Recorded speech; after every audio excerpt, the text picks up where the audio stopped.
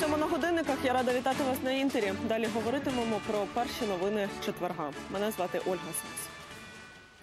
Один український боєць загинув минулої доби на сході країни. 22-річного Миколу Сорочука вбив ворожий снайпер. Хлопець родом із села Лище Волинської області. За рік після закінчення школи пішов добровольцем на фронт, служив у 10-й окремій гірсько-штурмовій бригаді ЗСУ. Загалом російські найманці чотири рази порушували режим припинення вогню, застосовували гранатомети різних систем, великокаліберні кулемети та іншу стрілецьку зброю. Також працював ворожий снайпер. Обстріли лунали поблизу Павлополя, Талаківки, Майорська та Шумів. Одним із найгарячіших напрямків на сході лишається Луганський. Звідти матеріал нашого кореспондента Руслана Сміщука. Спершу своєю машиною, а потім армійською вантажівкою. Зараз на Донбасі після низки морозів та відлих місцеві дороги перетворилися на суцільний жах і добратися до передових позицій можна лише ось так на військовій техніці. Потім ще пересадка вже в іншу машину, більш прохідну. Передова під окупованим Первомайськом зустрічає свіжими вирвами та новими слідами ворожої шрапнелі. Противник веде вогонь е, з мінометів е, по позиціях наших е, в районі Оріхове, Новотошківке, Новотошківське. Противник стріляє з жилих вулиць Голубівського, Донецького. Е, Веде обстріл з мінометів 120-х, 80-го калібра. Артилерія, тож важкобоя, 152-й калібр прилітав е, в районі Оріхове. Військові розповідають, вже більше тижня тут триває ескалація бойових дій. Крім того, наші фіксують велику кількість ворожої техніки. Технику слышно, но пока еще не работала в ближайшее время. Техники у них там много. Слышно и танки работают, прогреваются, и бэхи. Все у них там есть. Крім цих позицій, під вогнем бойовиків тут чимала ділянка фронту. видны и дальние взрывы, когда они ребят обстреливают. Это может быть и днем, и ночью, и вечером, и утром. Не имеет значения. От зараз періодично ми чуємо поодинокі вибухи та кулеметні черги, але здається, що військові на це уваги не звертають. Тут така ситуація називається просто тишею. Иногда пытаются пройти поближе, ну, вовремя замечаем, пресекаем их движение. Они бывают вот за полтора часа могут 3-4 раза пытаться пролезть.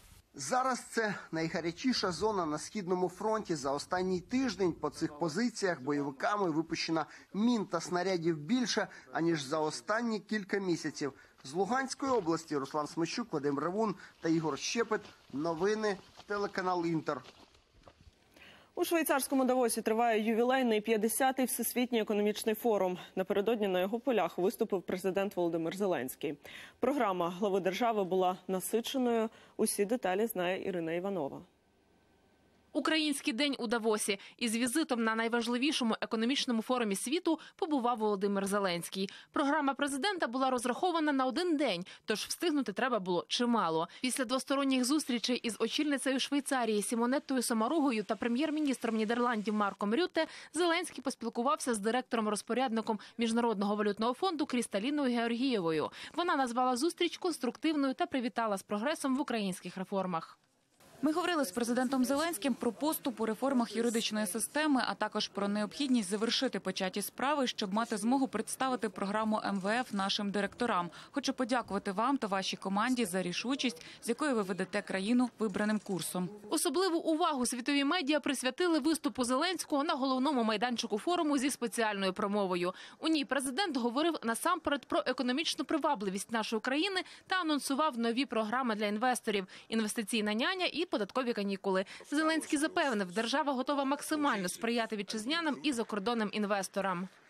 У нас є все, щоб стати успішною країною. Сприятливі кліматичні умови, вигідне, дуже географічне розташування, невичерпаний аграрний та індустріальний потенціал і наш найцінніший український ресурс, неймовірно креативні і дуже талановиті люди, що входять в топ-50 за рейтингом Human Capital Index. У нас немає тільки поки що, немає тільки двох речей. Немає іншого варіанту, аніж бути успішними. Це перше. І немає достатнього інвестування. Ми пропонуємо всім, всім стати акціонерами успіху нової України.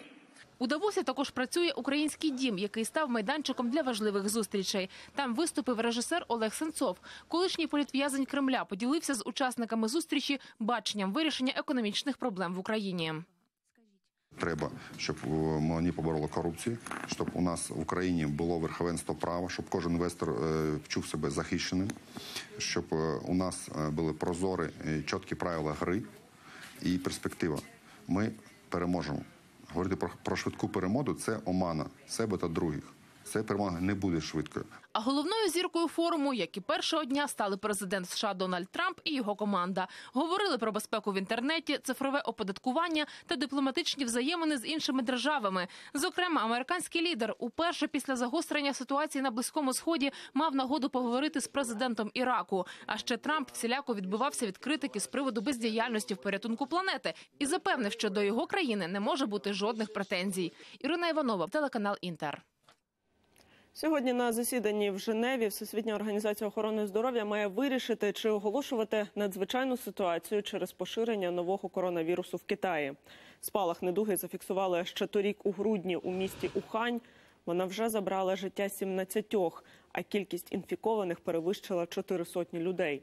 Напередодні в Женеві скликали екстрене засідання ВООЗ щодо загрози нової епідемії. Утім, остаточне рішення мають ухвалити сьогодні. Якщо надзвичайний стан все-таки запровадять, він буде шостим за останнє десятиліття, як це було раніше зі свинячим грипом та вірусом Еболи. Сьогодні в рамках засідання відбулося обговорення нового коронавірусу, але нам замало інформації для ухвалення остаточного рішення. Тож нам необхідно провести ще одне засідання. Рішення про надзвичайний стан у галузі охорони здоров'я викликає міжнародне занепокоєння, тому його треба ухвалювати лише після ретельного розгляду всіх доказів. Новий вірус уже зафіксували в Австралії, Філіппінах, Таїланді, Японії, Південній Кореї, США та Росії. Лікарі підтвердили, недуга передається від людини до людини. У китайському місті Ухань, звідки й пішов вірус, зачинили аеропорти і вокзали. По інший бік кордону теж на поготові. Особливу увагу приділяють перевірці пасажирів з Китаю. У Сполучених Штатах, Росії, Мексиці щойно бачать недомагання у пасажира з Китаю, одразу госпіталізують.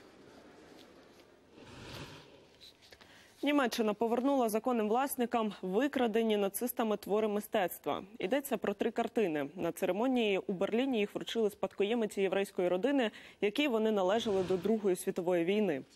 Дві роботи виявили у так званій колекції Гурліта. Нагадаю, в листопаді 2013 року правоохоронці виявили справжній арт-скарб у мюнхенській квартирі відлюдника Корнеліуса Гурліта, сина нацистського арт-дилера. Там випадково знайшли близько півтори тисячі робіт знаменитих художників. Їх вважали втраченими під час бомбардування Дрездена 1945 року. Щодо третьої картини, яку повернули, то вона перебувала у будинку приватного колекціонера. Дізнавшись про її походження, він погодився повернути полотно.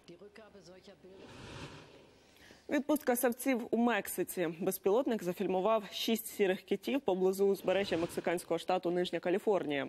Велетні вирушили з холодних вод Арктики до теплих країв. Їхня, так би мовити, відпустка найдовша серед савців триває з кінця листопада по квітень. Щоб поплавати в теплих водах, сірі кити долають понад 10 тисяч кілометрів в обидва боки. І наразі у мене все. Наступна наша зустріч буде о восьмій. Дякую, що ви з нами.